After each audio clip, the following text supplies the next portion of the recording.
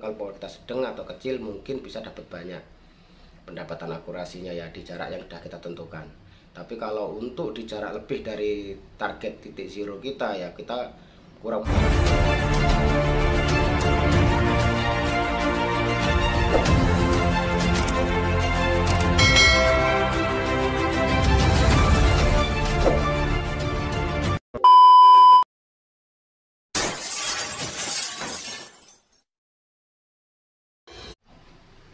Oke, bismillahirrahmanirrahim. Assalamualaikum warahmatullahi wabarakatuh.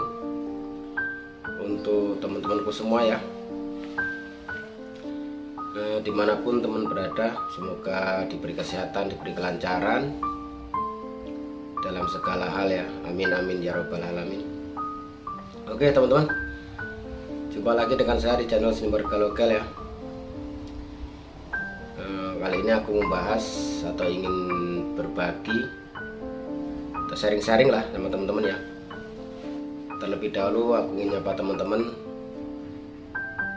saya ucapkan banyak terima kasih untuk teman-teman semuanya ya setelah mendukung atau mensupport saya di channel ini.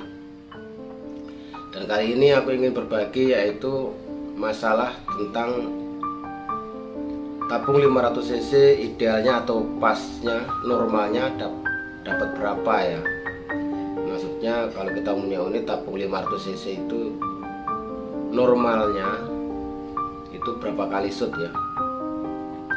Sebelum aku bahas bahasannya lebih lanjut untuk teman-temanku yang istilahnya itu yang senior apabila tanpa sengaja menemukan channel saya ini kalau istilahnya ada kata-kata saya ada yang kurang pas tolong kok komen aja di kolom komen ya istilahnya untuk melengkapi ucapan-ucapan atau dalam saya berbagi. Ini nggak ada motif untuk mengguri nggak ada motif istilahnya itu sok bisa atau gimana. Intinya murni berbagi atau sharing bersama ya. Ini no debat. Ini cuma pengalaman yang istilahnya itu yang udah saya alami ya. Oke? Teman-teman kemarin yang bertanya ini jawaban saya. Ini istilahnya itu pengalaman aja. Jika ada kurang dan lebihnya ya mohon dimaklumi. Yang jelas saya ulangi lagi ini no debat. Oke teman-teman. Bocap 500 cc ya. Atau tabung 500 cc itu idealnya. Normalnya dapat berapa kali shoot ya. Atau berapa kali bidikan ya ini gini teman-teman. Kalau ngomongin masalah berapa jumlah atau berapa kali bidikan normalnya itu tergantung di jarak teman-teman ya. Walaupun tabung kita besar walaupun tabung kita gede ataupun kecil ya tergantung jarak yang kita tentukan.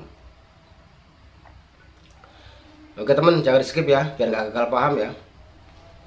Sekarang gini walaupun tabung kita kecil kalau kita tergantung maksudnya maaf walaupun tabung kita kecil atau besar bahkan yang 500 cc itu tergantung dengan setelan power ya. Dan unit itu pakai regul apa enggak? Kan kayak gitu teman-teman ya. Dikarenakan walaupun dia tabungnya gede kalau kita powernya maunya gede ya mungkin bisa boros ya.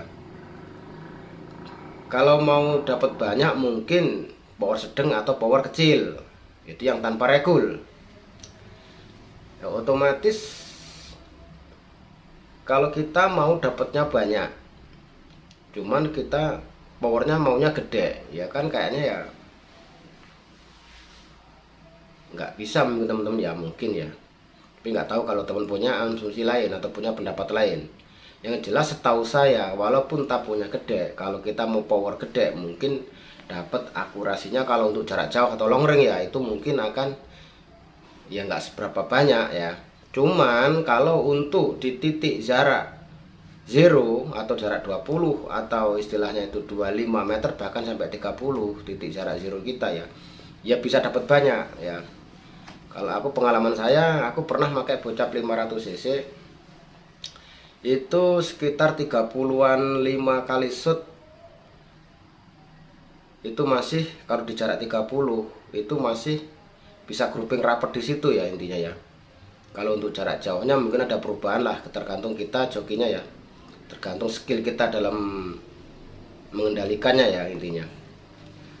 Itu yang pakai regul teman ya. Itu pun dapat segitu itu belum sampai istilahnya belum sampai pergeseran belum ini kan aku udah ini ya nggak tak habisin bener ya intinya ya. Bahkan mungkin bisa lebih dari itu ya itu power sedang power kecil lah intinya. Kalau power gede mungkin nggak nyampe segitu kan kayak gitu. Kalau yang istilahnya itu nggak pakai regul itu mungkin ya kalau untuk jarak 30 25 30 ya mesti dapat banyak lah ya.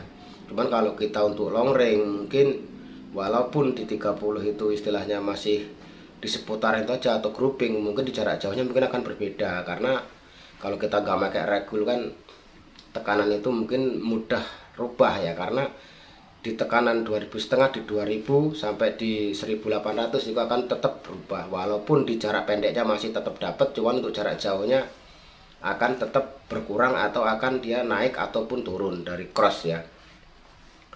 Itulah teman-teman ya. Walaupun tabung kecil kalau kita istilahnya itu tetap bisa dapat banyak kalau tergantung power kita ya tergantung power kita. Power kita mau besar apa mau kecil itu tergantung kita nyetel powernya. Kalau kita maunya powernya besar ya kalau kita mau cari mendapat akurasi yang lebih banyak mungkin ya kayaknya kesusahan. Cuman kalau power kita sedang atau kecil mungkin bisa dapat banyak pendapatan akurasinya ya di jarak yang sudah kita tentukan. Tapi kalau untuk di jarak lebih dari target titik zero kita ya kita kurang memahami teman-teman ya kalau di jarak untuk long range-nya ya di atas titik jarak zero kita. Itulah teman-teman ya. Mudah-mudahan bisa dipahami itu tadi teman-teman. Kalau kita mau istilahnya itu dapat akurasi lebih banyak otomatis ya tabungnya mungkin gede satu. Keduanya pasang regul ya. Kayaknya ini udah pernah aku ulas di video saya itu ya teman. Ini bukan masalah bahas masalah tabung. Kemarin itu kan ingin dapat banyak harus pakai tabung sekian sekian kayak gitu ya teman-teman ya oke untuk teman-temanku ya mudah-mudahan ini bisa dimengerti. Saya ulangi sekali lagi ini nggak ada motif mengguru ya. Ini sekedar sharing atau berbagi. Oke apabila ada kata-kata yang kurang berkenan untuk teman-temanku ya. Nah, kami mohon maaf yang sebesar-besarnya. Saya akhiri. Wassalamualaikum warahmatullahi wabarakatuh.